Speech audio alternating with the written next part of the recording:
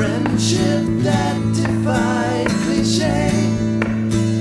Then a question spread like cancer, and since that day.